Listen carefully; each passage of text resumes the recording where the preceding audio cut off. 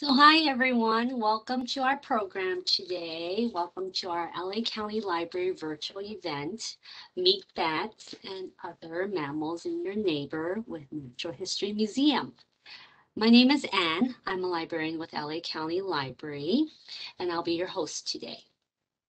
I will be turning off my camera as we have our presenters present, but I will be checking your questions throughout the program on the chat on the right hand side. So please feel free throughout the chat, um, throughout the program, type in your questions on the chat and I'll definitely look through them and ask them so the presenters can actually answer your questions. Um, do remember to please um, post the questions to all panelists so then we can all see your question. And um, of course, uh, if you feel like there's something you need to ask right away, just ask, and that's okay. Um, just type it in the chat and we'll read through that. Um, but uh, with I do want to mention we are able to have this special program today because this program is sponsored by Edison International and LA County Library Foundation. And this is in partnership with Natural History Museum. And we have very two very special guests with us today. Our first guest is Dr. Kayce Bell. And she's going to talk to us about what she's been researching, and what she's going to be doing. And then later on, we're going to have Mr. Miguel and I'm going to try to say this correctly. I said it right one time, but I might not say it correctly again. Uh, Ordeñana. Um, and he's going to be speaking with us later. But um, first, I'm going to have Dr. Bell come and speak with us. Are you ready? Thank you, Anne. And hello, everyone. Thank you for joining us today. As Anne said, I am Kayce Bell, and I am the curator of terrestrial mammals at the Natural History Museum of LA County. All right. So um, I'm going to talk a little bit about my background and my research, as well as the mammals of LA and a little bit about Los Angeles and climate change. And then mostly, or I'll end with some information about the museums and collections and why museums and our resources here are important. So my research program uses museum specimens to study where different mammal species live, how distrib their distributions change, in different parasite communities. And I have done this uh, starting when I was an undergraduate student studying the distributions of different small mammals in Canada and Alaska. I did it for my master's research, studying the distributions and evolutionary histories of California, of two species of ground squirrels in California, the Mojave ground squirrel and the round-tailed ground squirrel. And then for my dissertation research, I studied chipmunks and their parasites. I'll talk a little bit more about some of that today. So to start, my um, career has given me the opportunity to do a lot of field work. So I've gotten to travel and do a lot of work in some really exciting places. The majority of the field work for my research has been conducted in Western North America, actually the Western United States, with a little bit in Canada and quite a bit of time in Alaska. But I've also gotten to do field work in Central and South America, and those were kind of just um, trips where I was going along to help do research and help collect animals and less for my specific research. I've also had the pleasure of getting to go to Mongolia twice. So I've had two trips going to Mongolia to do specimen based research on parasites. So I'm going to start with my research program and then work my way down. So for my research, like I said, I study small mammals and their parasites. And I'm just going to give you a really scaled out um, explanation of what that means. So part of the my research is studying how species get where they are today and how we have the species come to exist that we see today. So one way to do this would be to imagine that this black outline here is one species of chipmunk and through time, different events happen that lead to the divergence or the evolution of two different species of chipmunks. So in the past, there was a black chipmunk, and now we have an orange chipmunk and a green chipmunk. And I'm curious, my research looks at the processes that lead to that. And it's things like um, ice ages or, you know, being restricted to different parts of their habitat can lead to those changes. But I'm also interested in their parasites and what happened when the species evolved. So for example, when the black chipmunk um, evolved into the orange chipmunk and the green chipmunk, it's possible that their parasites stayed the same. And so that now all three species of chipmunks would have the same species of parasite but it's also possible that those parasites changed alongside their hosts. And this is important because um, when parasites evolve with their hosts, it impacts their ability to actually go onto different species. So we can't get a parasite from a chipmunk for the most part. There are a few exceptions, but mostly we can't get parasites from chipmunks. So the evolutionary history is important because it, it ends up impacting who those parasites can infect. There's also things called host switching. So for example, there could be an instance where this purple outline squirrel had a parasite that was then able to transfer to this green chipmunk, and that was what we call a host switch. So again, these kinds of things are important for understanding how easily parasites can move around among different species. Another thing that I study is distributions of species and how different things impact those. So for example, pretend we have this population of mice that are these orange mice living on the landscape, and then we build a city like Los Angeles. What happens to the mice that were living in Los Angeles? Do they get pushed out to the edge or are they able to keep living in the same environment? There's lots of um, opportunities to investigate these types of questions with the species we have in Los Angeles. We also have introduced species and they can impact the, the species that were living here beforehand. So it could be that when the house mouse came and was brought into Los Angeles, it actually impacted the deer mice that had already been living there. And that's another part of my research that I'm looking to investigate. So again, using those examples of the deer mouse and the house mouse, the deer mouse was living here before um, Europeans came to Western North America. And the house mouse, which is the picture that's on the right, that was actually brought along on ships with humans um, and people who came, European colonizers. If we look at the distributions of these species through time, before 1950, we can see where the deer mice was found on this map. So you can see there's lots of these points. This is using museum records. So this is how museums inform us about how things change through time. Pre-1950, we know that deer mice were living in all of these areas with these little orange dart dots. Then, if we look after 1990, you can see that we don't have records in the same places. And it's possible that the species is no longer living there, but it's also possible that they're living there, but nobody has detected them. Another example then is to look at the house mouse, as I mentioned. It wasn't here before European colonizers came. And so we can see that there's this area um, pre-19 or pre-1950, we can see where it was found in the LA area. And then we can see that it's expanded more. So some examples, it looks like it's moved um, south and east a little bit.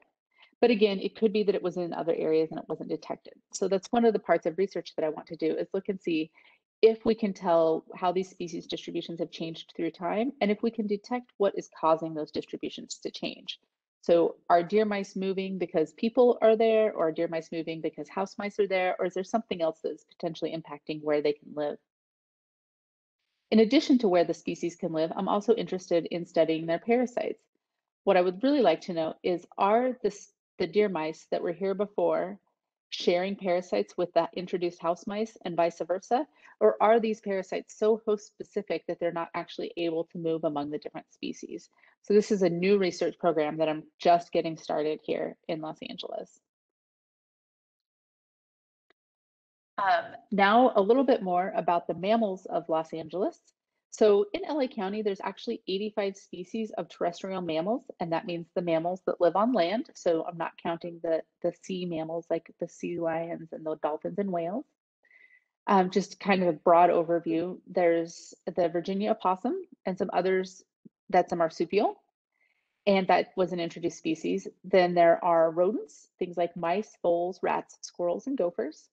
There are carnivores like skunks, raccoons, coyotes, foxes, and mountain lions and bears, among others.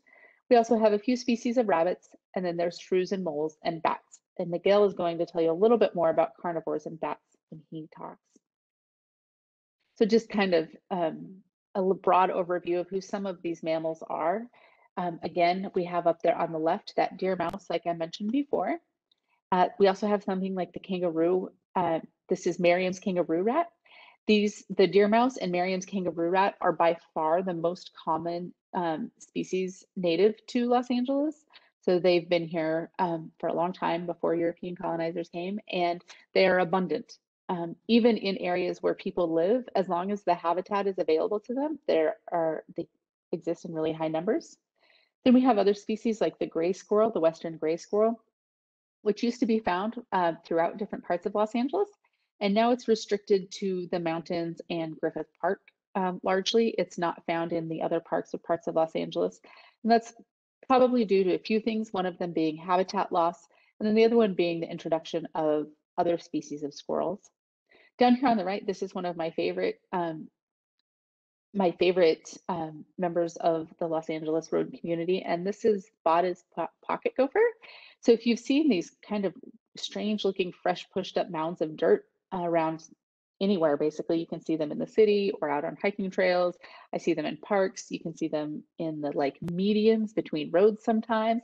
That's uh, these little gophers down here on the right. So this is the type of rodent that lives underground and they push up the dirt when they're cleaning out their burrows. And they're called pocket gophers because they have these really cool cheek pouch pockets that they use to carry food, move dirt, and things like that around. Um, then we have these other species of mammals that were introduced. So as I mentioned, the Virginia opossum has actually been introduced to the area. This is the eastern fox squirrel. This is a squirrel that you most commonly see in Los Angeles in like parks or forested areas in lower elevations. Once you get up into the less developed forests and in the mountains, you will see the gray squirrel again and not the fox squirrel. Then we have the house mouse, which isn't extremely common, but they are around. The probably most common rodents that we have around here are the rats. So we have here the black rat and um, or it's sometimes called the roof rat. I've also heard it called the fruit rat. And then there's also another species of rat that's called the brown rat um, or sometimes called the Norway rat. We have carnivores. Like I said, Miguel is going to talk about some urban carnivores. So I thought I'd point out some of the ones that you don't see around the city quite as often. There's things like the spotted skunk, in addition to the striped skunk that you may have seen. Uh, they're a little bit more rare and elusive. We also have things like the ringtail, which sometimes is called the ringtail cat, but it's not a cat. It's actually related to raccoons. And the gray fox. And uh, we have rabbits. So there's a, the desert cottontail, which is the rabbit that you most commonly see around the city, as well as the brush rabbit. And it's actually very difficult to distinguish these two species from one another. And I actually suspect that this picture that I found on Wikipedia may not be a brush rabbit, but it could be. They're very difficult to tell apart. And then over here on the right is a picture of the black-tailed jackrabbit. It has a very distinguished uh, large ears sticking up. And then lastly, we have the shrews and moles in Los Angeles. This here, there are several species of shrews that can be found around Los Angeles. This is a picture of an ornate shrew. And um, although this is somebody holding it, I don't recommend holding any wild animals. Please don't handle them. I'm hoping that this was done um, with the proper permits and training. And then the one on the bottom right here is a broad-footed mole, and that's the mole that you'll the only mole that you'll find around Los Angeles. I'm going to just quickly talk about climate change and um, how it's impacting us in Los Angeles because it comes back to being relevant to both museums and the mammals that live here. So we know that it's getting warmer, which means that we're getting less snow and the snow melts earlier. Also means we have more summer drought like the one that we're experiencing now. And as you've noticed over the last few years, likely that we have increased wildfire. There um, are more wildfires, they're more intense, and they're covering more ground. And this is going to impact all of the plant and animal species that live in Los Angeles. It means that there's going to be earlier spring events, um, which is phenology, which actually is the timing of things like flowering or reproduction or migration. And right now, things have evolved for those things to be synchronized so that flowers are going to bloom when there's going to be a pollinator available to pollinate them. And changes in phenology can actually lead to mismatches in that. There's also going to be problems with things like water flow and the timing of water flow that can impact those things. We also know that it's impacting where animals live. So um, research has shown that different species are actually migrating at different times, and they're also changing their distributions to cooler areas. So we know, for example, that mammals are not only going north, they're also going up in elevation, and this has been correlated with changes in temperatures. Just a quick pitch for things that you can do to help us study this. You can actually record observations for the wildlife that you see on iNaturalist.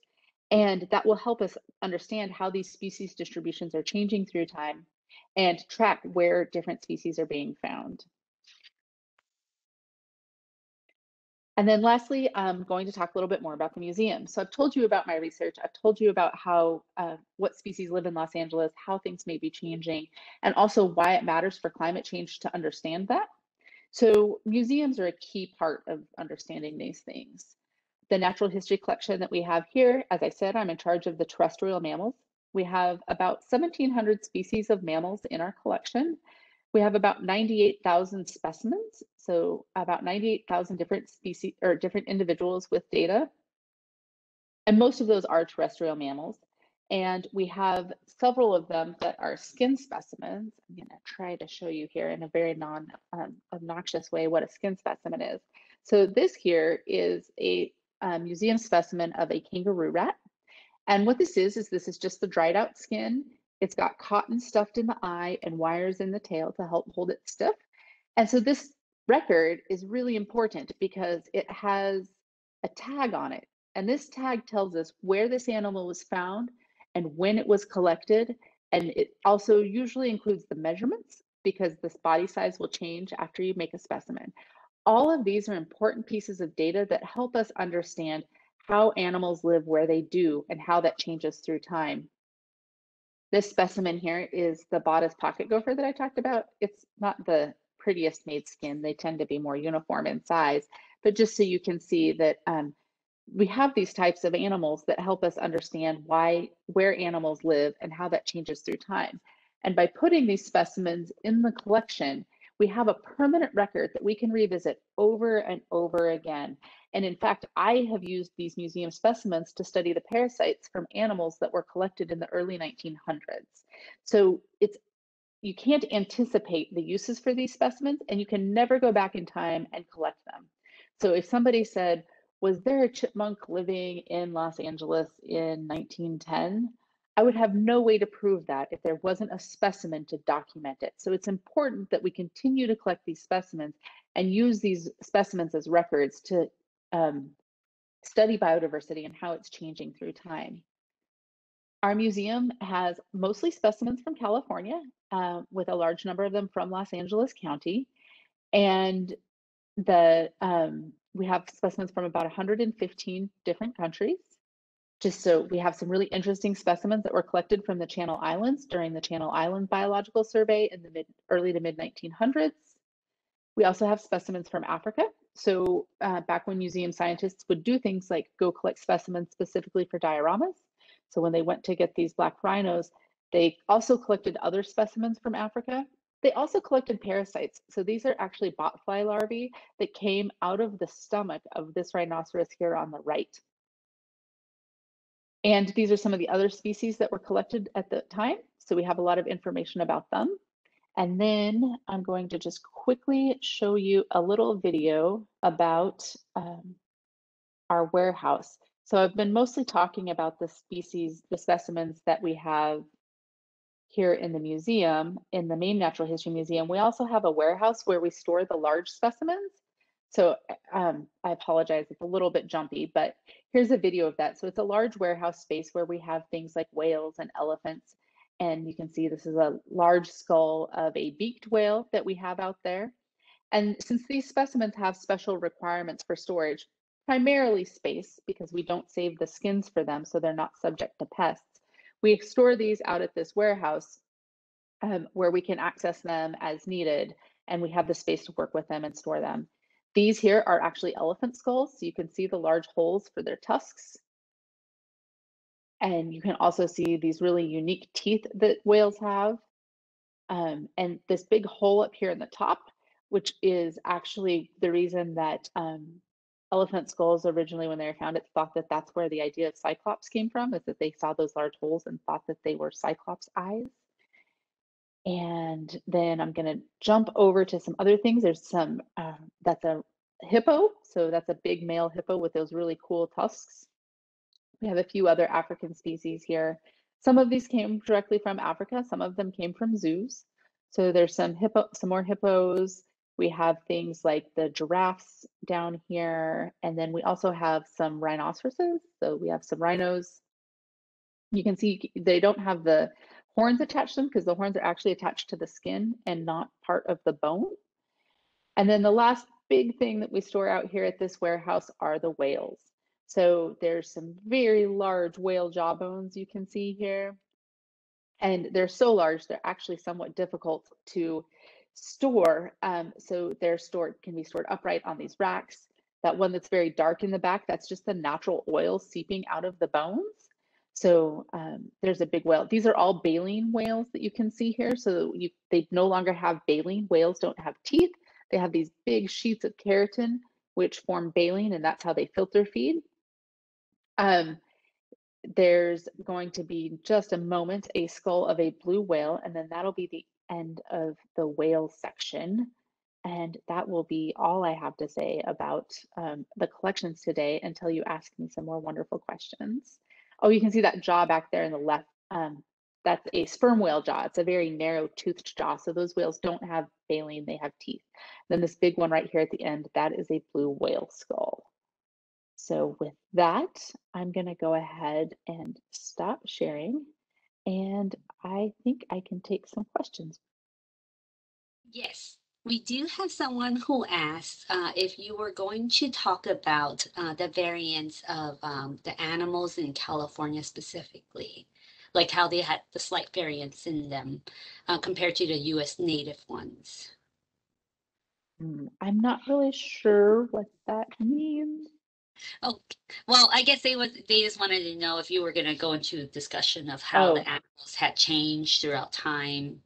Yeah, no. So when I talk, we talk about change through time, there's a, that can mean a lot of different things. And usually the type of change that I study is actually change in the DNA that has led to differences in um, what we call a species or a population and how they can interbreed. And so it's variable across the landscape. There are some species that are only found in California, so they're very unique to California, but there's other species like the deer mouse, which is common across all of North America. And someone also asked if um, the squirrels, um, did they are the squirrels the animal that has plague, or is it other animals? Yes, and yes. So squirrels do carry plague, um, and they get it transmitted via fleas. Um, and it, but it's not just squirrels. Um, a lot of different species of rodents and carnivores can transmit it. Um, and it, it's not usually usually not directly transmitted from the animal itself. It's usually transmitted through the um, fleas that they have. In most parts of the US, it's primarily associated with prairie dogs. So usually we don't worry too much about plague outside of prairie dog colonies, but it is possible for it to be transmitted by fleas on other animals. And mostly it's associated with squirrels. But it can also be transmitted by the fleas of rats, which is what the, the Black Death, the Great Plagues of Europe are associated with. And then someone asked, the arroyo below JPL are the in jeopardy species now in extinct? Unfortunately, I don't know anything about that. I am fairly new to Los Angeles and I am not familiar with the arroyo below JPL, so I am sorry about that, but I will look into it. It sounds interesting. And someone was asking, do chipmunks, um, do we actually have chipmunks in California? Yes, so in California, there are, California is blessed with 13 species of chipmunks. So we are very fortunate to have more chipmunks than any other state in the US. And right here in Los Angeles County, we have three species of chipmunks.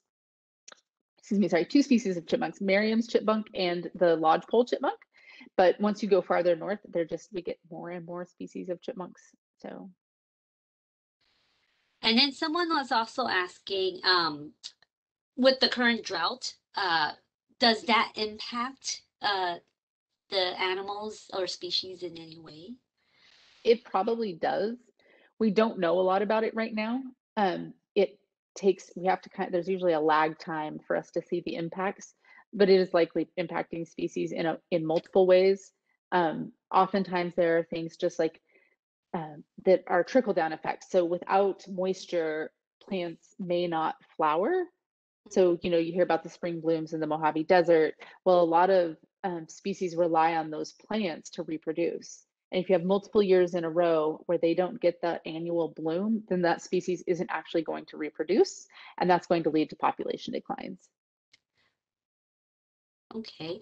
Well, and then someone was also asking, are there any species that you study in that you are studying right now are endangered? So not that I am currently studying, none of the species I'm currently studying are endangered. There is a species of chipmunk that has been considered for um, being listed as threatened in Nevada, but my research has actually shown that that's not a unique species. So it's on an isolated mountaintop in Nevada, but it's actually, it's called Palmer's chipmunk, but it is actually the same chipmunk as the Uinta chipmunk. So while we should probably conserve the chipmunks on those mountains, it's not something that means the species will go extinct if the chipmunks no longer exist on that mountain. Um, and then I also have studied um, the Mojave ground squirrel, which is a state listed threatened species. And it is one of the species that's impacted by things like um, continual years of drought because they don't reproduce in years that there are not good annual blooms. Mm. And then someone asked, I don't know if it would be something that you would be aware of, uh, but um, do you know the official um, LA County policy in regards to coyotes? I do not know what it is. There is a chance, I don't want to speak for him, there's a potential chance that Miguel will know because he is much more familiar with urban carnivores and policies regarding them. So he may know, but I don't know for sure. I think that's all the questions I have for now. Um, I don't see anyone else asking questions at the moment. So um, I think if Miguel is ready, maybe I'll transfer the present presenter um, privileges to you. Thank you for having me. Um, I'm going to be talking about uh, primarily bats and carnivores that live here in the Los Angeles area. Um, and how they're basically uh, able to survive here in Los Angeles with us.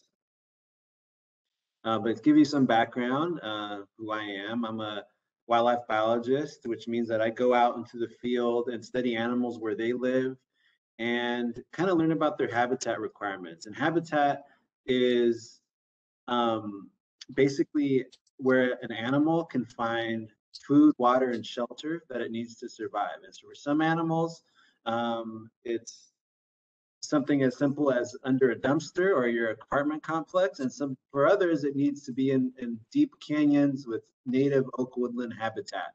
And so that's what I'm going to be, be able to talk about today is kind of how these animals, even within the carnivore species or the bat species, kind of differ in what they need to survive here in LA. But I grew up here in LA. I just want to share that because I have that local connection that I'm very proud of grew up really close to Griffith Park. My mom um, really fed my passion for wildlife or animals by taking me to places she knew animals existed, like the zoo or the Natural History Museum. Um, but um, even with all that support, um, my mom didn't know anything about nature or science, and and so when I would see these animals, I would think that oh, I guess all the cool nature exists in Africa because what I'm learning in the zoos and and the museums is that all the animals that are important and that need conservation help are are pretty far away. So this this seemed like a pretty difficult career for me to get into. But thankfully, I had these accidental encounters with wildlife while going outside, um, and out of my apartment complex would run into a coyote on our way to the car, and always would spark my curiosity. How these animals that I would see in in books or on TV in these really wild places like Yellowstone, how are they surviving in the middle of the city. Um, what do they need to survive? So that that kept me me curious and connected to nature, even though it was it was accidental. Um, fast forward, um, I started that that passion for coyotes, those those random interactions with coyotes, even one that included coyotes killing my very first pet, uh, my cat Whiskey. Um, I still it still led to my curiosity in, in wildlife research and and studying more about animals that really related to me, relate relatable to me that lived here in the city that I grew up in. Um, but unfortunately, I had to go all the way to to graduate school and, and go through a lot of uh, training and and meet some scientists to learn that we had animals called bobcats here in Los Angeles. Um, but fortunately, one of these opportunities led to a job to really immerse myself in into that research. And I learned about a technology called camera trap. So in my video screen, you can see this device here. It's a motion activated camera that is triggered by motion or um, or in, or body heat and triggers to take a video or a photo and we can learn about how many individuals live in a certain area if they have identifiable pelt markings like bobcats excuse me or we can also just learn about what species are able to survive in certain cities. So bobcats are a really good example. In comparison to coyotes, for instance, that I just showed you earlier, bobcats only eat meat. So even though they, you can see them in this urban setting, they have to have meat or native prey to be around, uh, or natural prey like rats, rabbits, mice, um, to be in that neighborhood for them to be able to survive and, and have reproduce and all that kind of stuff. Coyotes, on their hand, um, yes, they'll eat rabbits and rats and, and, probably prefer that, but they'll also eat fallen fruit, um, garbage, um, your outdoor cat, um, if if they need to uh, to survive. So that's the difference. Is even though both coyotes and, and bobcats are carnivores, coyotes um, eat a lot of different things, are a little bit more bold, can live in packs, social packs, um, also can hunt alone. But bobcats are solitary unless they have kittens or, or about finding a mate. Um, and but mostly, yeah, solitary and and only eat meat. So it makes them a little more sensitive to certain situations and environments. And this type of work took me to, to Nicaragua, where my family's from. And I was able to use these the same technology to study jaguars. Again, like the bobcat, have identifiable pelt markings, allowing me to identify individuals and see how many are living in an area and how they're impacted by human development. And in this case, it was um, livestock ranching um, in this area. Um, so just an example of what I've been, what I've been up to over the years. Um, but in Southern California, and this is where I wanted to be, where I wanted to do my research, because it's such a really great place to do work because there's so many ecosystems in one place. We have mountains, we have deserts, we have wetlands, um, coastal areas, um, and a lot of animals are accommodated by that. And I wanted to bring up the opossum. I know Kayce brought up that opossums are our only marsupial here in North America, but um, a lot of people confuse them for carnivores because they have those sharp teeth. They eat um, rabbits, lizards, meat, and and and um, plant matter, vegetation, uh, just like a, a raccoon would um, or a skunk would. And so they fill the same type of role in the ecosystem, but because they're related to different mammal species, um, they have pouch, they have embryonic young. They're not carnivores. They are officially marsupials. So I just want to, and but nonetheless, they're really cute. Here's one lounging in our nature gardens uh, right out here in the museum, which is yeah adorable during the day. Also nocturnal, like another carnivore that's very adaptable to the city um, the raccoon um, that can live in sewers under your dumpster, um, eats like the coyote a lot of different things, usually solitary, but can also tolerate one another, um, even though they get into squabbles here and there like these two are. And just like those opossums, they're making a home out of our garden here in South LA, just south of downtown, using our lake, our pond, and use their very sensitive hands to look for animals uh, under the water in pitch black darkness due to their sensitive hands um, can get crayfish and and other things that that they can find under the under the water with their very sensitive hands, which is really cool. Um, bobcats, again, because they're small, they're able to survive, even though they have such sensitive uh, or specific requirements, making them more of a specialized species. Because they're so small, they're not as intimidating to us and they can take advantage of rabbits and rats, which are generally pretty abundant in most, most urban or at least suburban neighborhoods. But they have to contend with us, right? We're walking through their habitat with dogs, um, cycling through areas that they're trying to pass through safely. Um, and but they do do it when they can, like at night when we're asleep. So this deer is waiting for traffic to cross before it crosses that very same bridge those cyclists were on coyotes doing the same very early in the morning. Um, deer, a family of deer crossing from Griffith Park over to uh, the rest of the Santa Monica Mountains towards the Hollywood Bowl um, over the 101 freeway, not using this safer bridge that, that goes right over the 101. And also they use the LA River. I mean, a lot of, if you just saw this photo, a lot of people might think, oh my goodness, you studied coyotes in the Amazon? No, this is Arundo uh, in the middle of of the LA River and near near um, near uh, Atwater Village. And so, um, but if I didn't tell you that, who knows? Uh, nobody could probably figure that out. Um, this is a situation here in the LA River. These these coyotes, other animals use it as a safer way to get from point A to point B rather than trying to cross roads. They'll go through the middle of the river or even bike bike paths like this bobcat is on on the LA River bike bike path, going through it, almost approaching a tunnel there.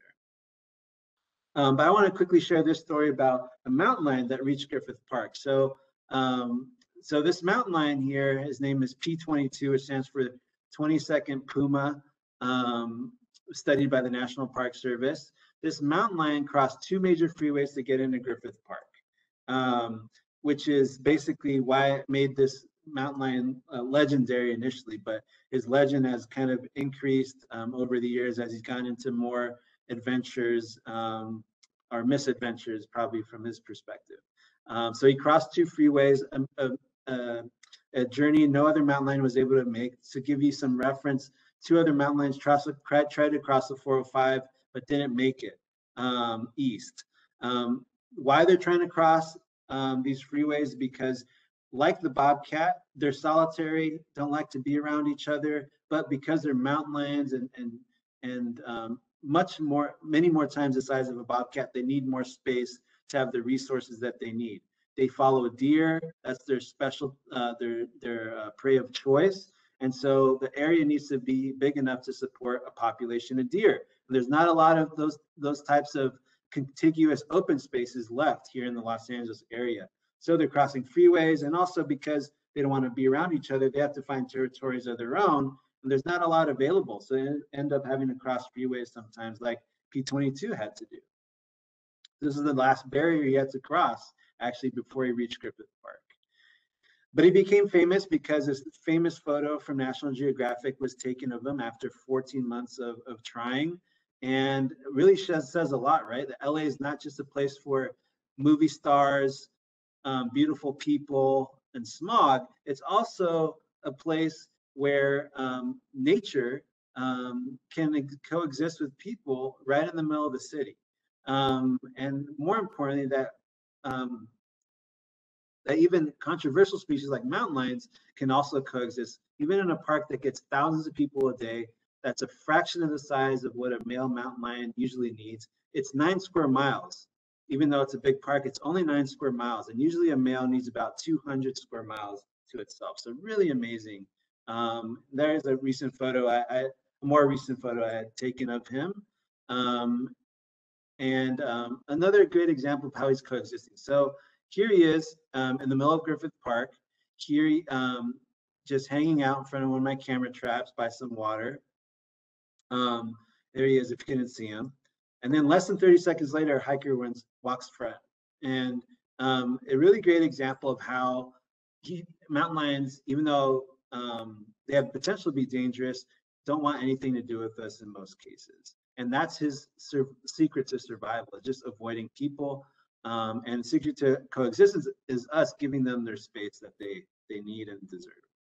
Here's another great example of him kind of crossing through um, when people are asleep when it's safer to go out sometimes he has to cross through someone's porch to get to where he needs to go in such an urbanized landscape and and before i get into this one I'm going to tell you what's going to happen. It's a mountain lion in Bel Air about to chase a deer across your screen, so you don't miss it. Um, but this is a mountain lion that is the second to cross uh, the 405 East and only needs to cross the 101 to get into Griffith Park, but he hasn't yet. So we'll see what happens. But enjoy this video of him chasing a deer in someone's Bel Air back.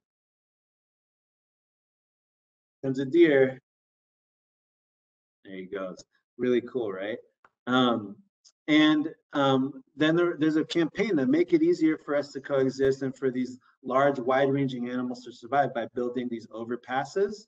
Um, and also, now I'm going to switch over to a totally different group of mammals, the bats. And and maybe many of you were here to, to learn about bats. So when you Google bats or think of bats and close your eyes, a lot of people think of this type of picture, an Indian flying fox, um, which is great. They're charismatic, great ambassador for bats.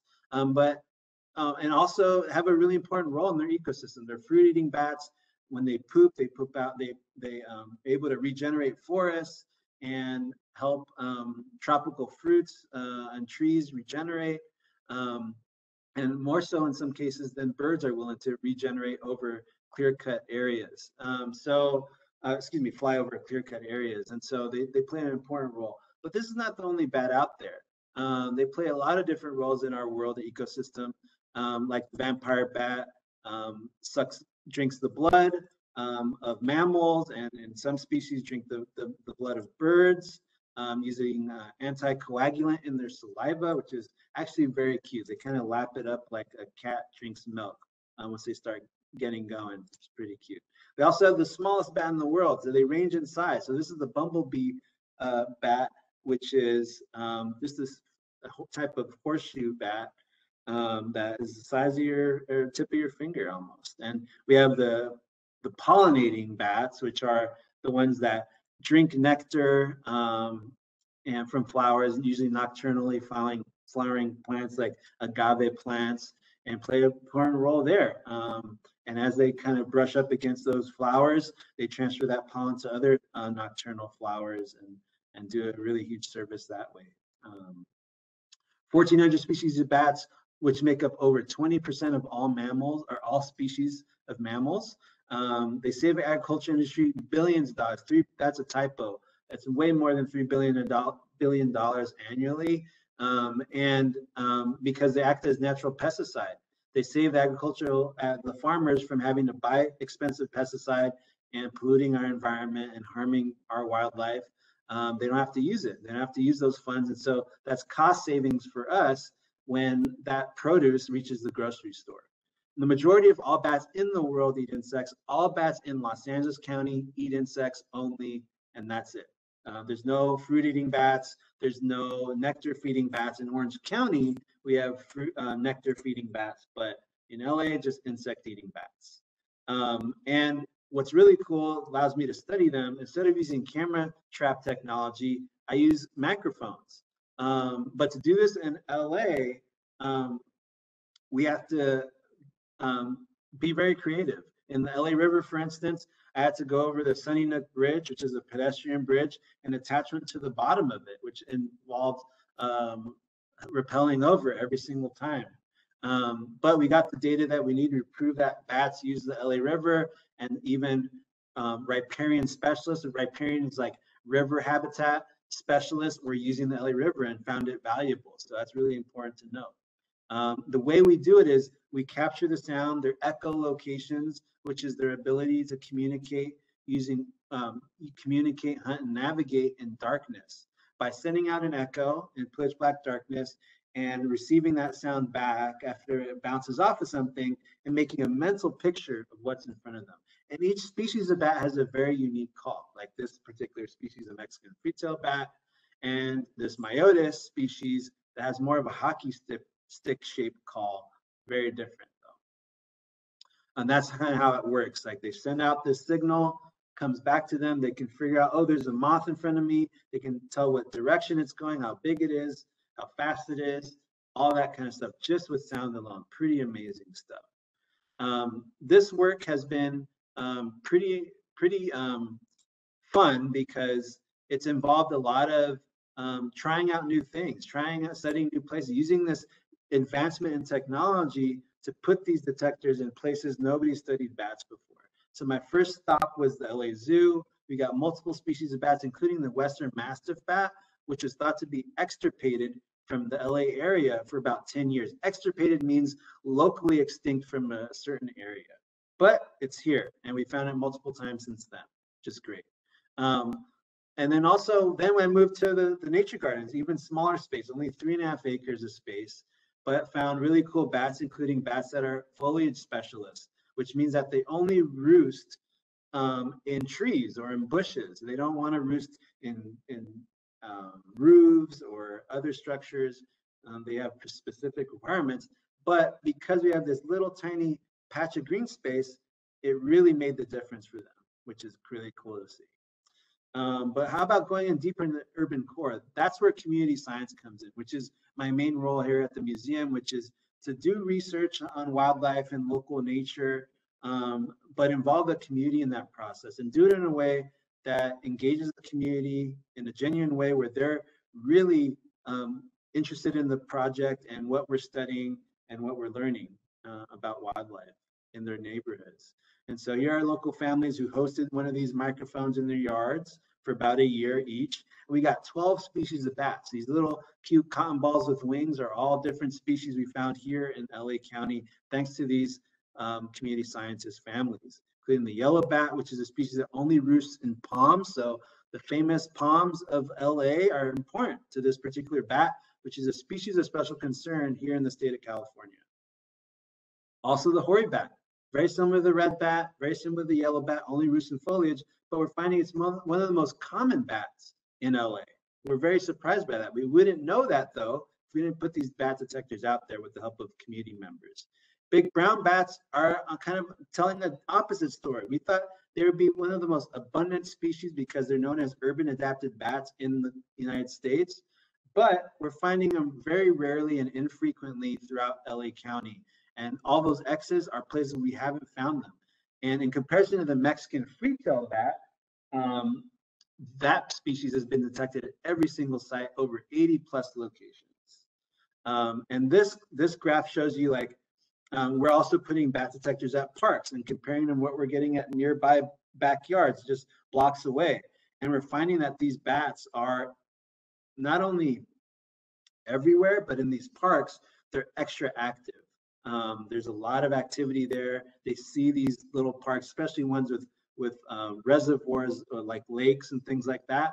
Um, they're really enjoying um, being there because of the habitat it provides. Because the water provides drinking water, of course, but also is breeding grounds for the insects that they eat. So uh, really interesting to see how that a, a, a park gets 10 times the activity compared to the bad activity in a backyard just just not too far away in blocks away in some cases um, and we're now expanding this work into including the community and helping us figure out this physical places that these bats rely on to be able to hide during the day and survive during the day while we're out and about um, and a nuisance to them. And so we were monitoring bridges, underpasses along the LA River and county, asking the community to come out with us twice during the summer and and uh, counting bats for us um, and helping us kind of learn about bat activity and, and bat roost requirements um, across the country.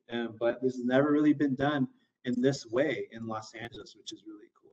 Also allows us to kind of track um, disease, uh, their vulnerability to diseases that affect hibernating bats. We don't even know if our bats here in LA are hibernating or if they're just doing it at higher elevations, if at all, because of LA's really unique warm Mediterranean climate. We need to learn all that stuff before we can really protect them in the way we should be. We're partnering with libraries. I really wanted to say that before I finished up here is that libraries are one of those site hosts. Boys and Girls Clubs are also putting their our bat detectors on the roofs so that we can can reach out to those communities and they can connect with nature in a very personal way. And also the library communities.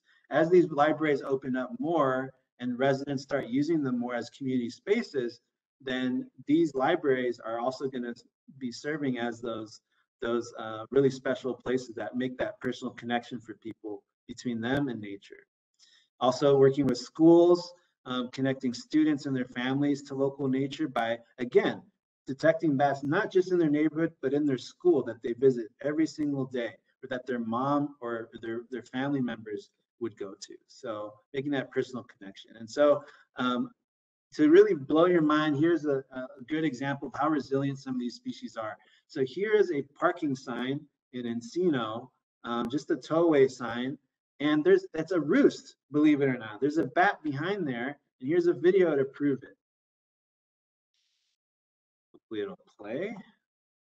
Oh, I'll hit play. So there we go.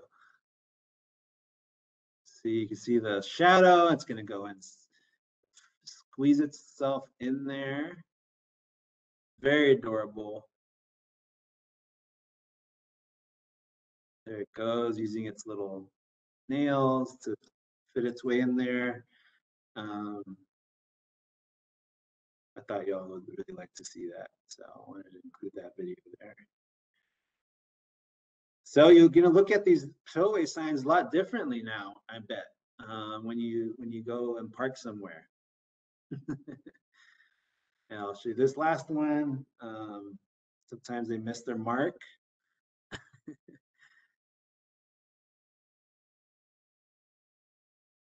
think it's gonna make it um no not that pass. There it goes. There it goes. Fitting itself in there. Very cool right? Um, but i want to leave you with this before i get into questions like hey um, once this technology gets gets easier to use um, as more people are aware that bats are in la um, people are going to be on the lookout for bats. So here i am this this one lone weirdo at the football game at USC listening to bats that were eating moths attracted to the stadium lights. But I think in just a few years, there's going to be a whole stadium full of people listening for bats. And I think that's going to just come with more awareness, more appreciation for bat, the role of bats here in LA. Um, and I'm excited for that future. Um, so thank you very much. And I'm happy to answer some questions. Oh, here's a pic. Here's a massive bat from our collection from Kayce's collection. So that's the big bat I was telling you about. Biggest bat in North America calls LA home. And then here's some smaller bats there um, that also call LA home. Very cool. Anyway, yeah, I'm ready for questions. That does look pretty cool. Someone did ask, um, do the bat boxes, um, do bats actually roost in them? Yeah, in some cases they do. So, um, it takes some patience though, and they're not always successful. Um, they have to be kind of oriented the right way, um, not totally in the sun, or maybe it needs to be more in the sun in some cases, depending on the climate. Um, even that means like painting it a certain color. Uh, and sometimes it takes almost three years for bats to occupy those structures um, but it's worth the shot because the more roosting habitat, the better. And should there be um, certain things that people should be afraid of on bats, like you know uh, their droppings or um, uh, or any type of disease they carry? Yeah, I mean, uh, um, Kayce would be more um, up to date of all the diseases that they carry, but rabies is one of them. You never want, I mean, the, the majority of bats don't carry rabies, and even the ones that show rabies-like symptoms even don't. A lot of times don't even have rabies, but um, it's always better to be safe um, than sorry. If you see a bat on the ground, especially during the day, don't go and touch it and pick it up. Um, call call a museum, that'd be awesome, uh, or call local wildlife authorities um, to report it. Uh, take a photo, send us a photo of it um, so we can document its presence uh, but don't pick it up. It's not worth the risk, um, even though there generally is not, not a huge risk um, with bats being here in LA. Anything you want to add to that, Kayce? Or um, no bats have, been, have had the coronavirus. If that's something that y'all are concerned about, um, it's a different type of bat, and that, that has has been has been um, detected with that in a different part of the world, and none of those cases have been in North America.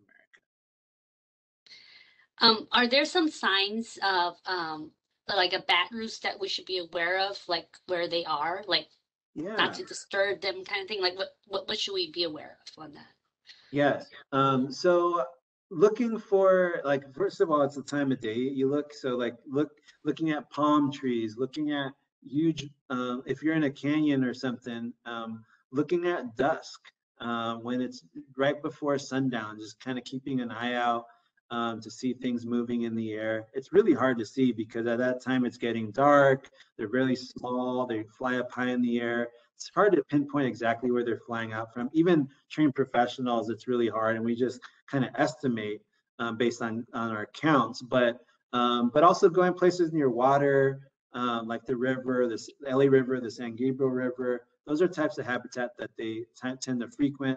Or if you live near a park like Echo Park or um, Silver Lake, places with those big reservoirs, or Magic Johnson Park, um, those are that's really great habitat for them because they they um, frequently use those uh, for feeding and, and drinking water. So it's okay to have opossums by your house, right? Yeah, yeah, why not? They're, they're really cute. Um, and um, there's very low low chances. I mean, I don't think there's any chance. Kayce, you can again correct me. Uh, very loaded, little chance of them can, having rabies, correct? Um, and and also um, they're the cleanup crew. They're scavengers, um, and and they provide a great service. Even though they're not from California, they're from the East Coast.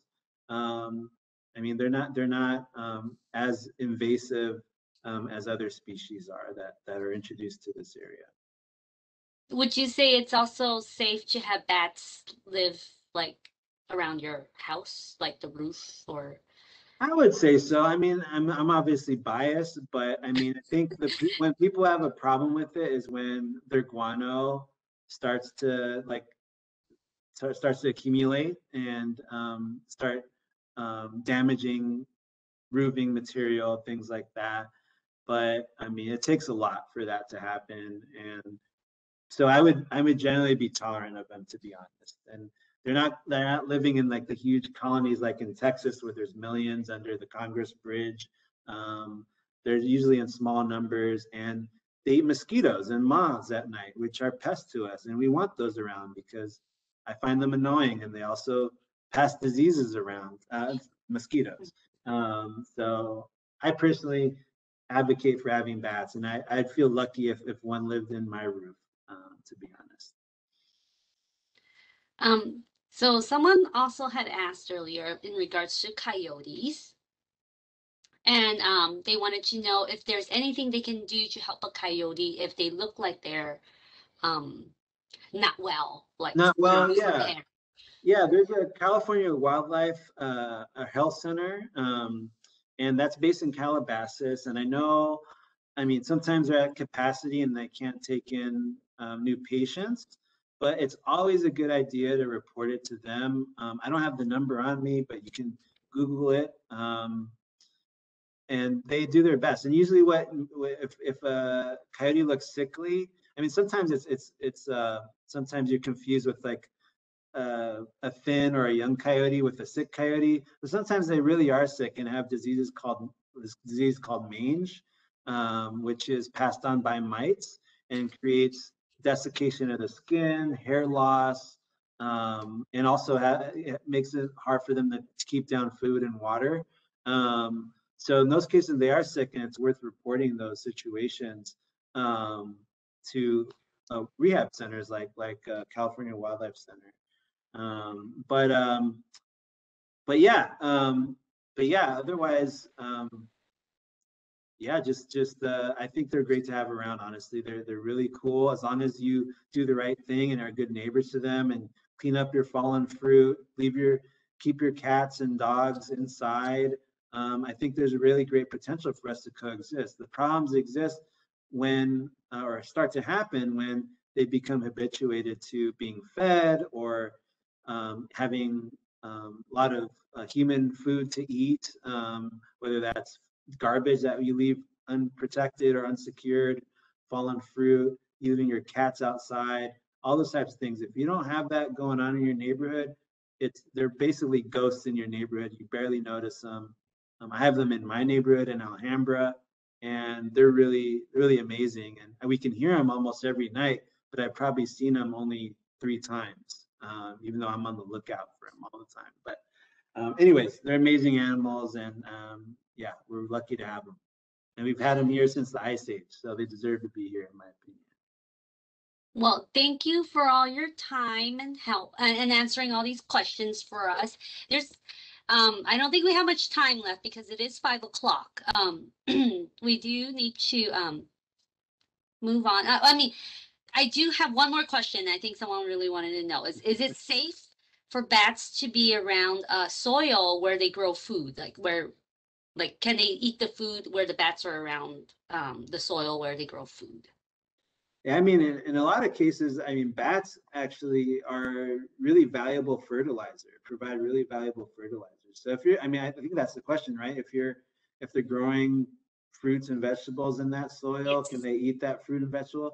Yeah, I think absolutely. I think a lot of places in the country they value that a lot. Um, that type of um, guano, um, guano um, fertilizer. But uh, but I mean, I wouldn't start collecting it and, and inhaling it. But uh, Kayce, do you have any comments on that? No, I, I think you covered it. In general, we kind of want to, if you can contract a disease from a bat, it is most likely going to be with coming into direct contact from them.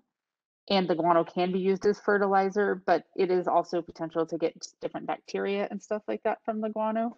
So Miguel's advice to not inhale large quantities of it is a good one. Well, uh, thank you for all this information, and I think everyone had a great time listening to um, both of you speak about um, bats as well as chipmunks and all these wonderful things from the Natural History Museum. Um, I do want to let everyone know we have an awesome program called Discover and Go. Uh, it had just been started recently again uh, because it's passes uh, through LA County Library, where you can check out uh, to go visit the Natural History Museum, as well as the La Brea Tar Pits. I want to share with you so you can see where you can um, go to have access um, to our Discover and Go. Uh, there we go. So you would go to the lacountylibrary.org slash discover, and you can um, visit uh, that web uh, our webpage to actually check out uh, reservations uh, to have free passes to the Natural History Museum as well as the La Brea Tar Pits. Um, it is a free program as long as you have your library card. So I do advise for everyone to go check out the lib, to check out the um, website and see um, what other cool museums are on there, uh, so you can um, go out and explore. Now, I don't think we have any other questions.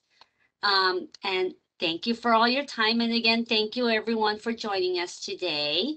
And we hope that um, we'll be able to have you visit our future uh, virtual programs through LA County. And we do have some um, questions in the uh, survey questions in the email that we'll send out to you. Please uh, do answer them because that will help us in terms of uh, determining what type of programs we should have for you. Um, so thank you, everyone.